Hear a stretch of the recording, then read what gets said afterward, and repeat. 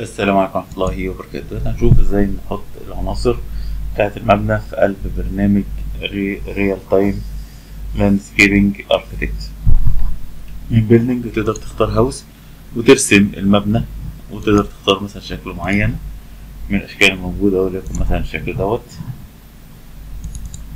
أهوت. تقدر تعدل فيه زي ما أنت عايز. أهوت. تقدر تعدل الهاي بتاعتك. ال elevation ال roof.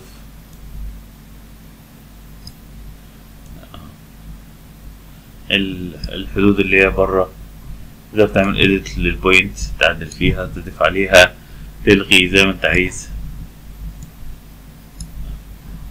طيب ممكن تضيف دور مثلا أهوت.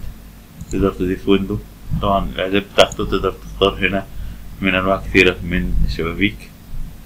وليكن مثلا الشكل دوت. اهوت طبعا بالبكرة بتاعت الماوس تقدر تبعد وتقرب زي ما انت عايز. اهو تقدر تقول له عايز هاوس لايت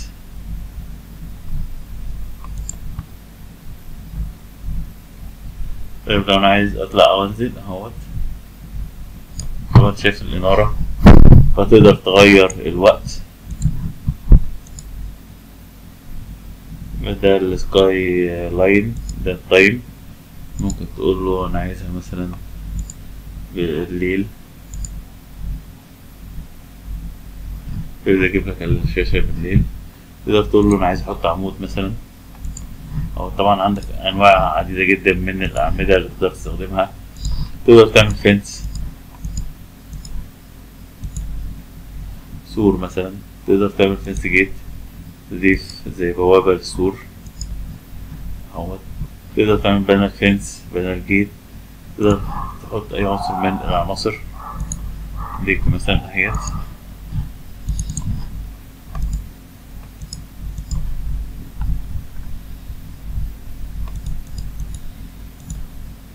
بالشكل دوت. وتقدر تعدل ال material framing ال railing post كل الحاجات ال top railing. تغير الشكل بتاعها وتغير المقاسات بتاعتها. ال railing. بالشكل دوت. وهكذا كل عنصر مجرد إن أنت تحددها هو بيعملها في 3D لما تدخل في ال plan تلاقي العناصر هي موجودة في ال plan. وتقدر تقول له أنا عايز اقيس سواء في 3 دي أو في 2 دي تقدر تقيس مثلا من هنا لهنا. أهوت. تقدر تقول له كاركتر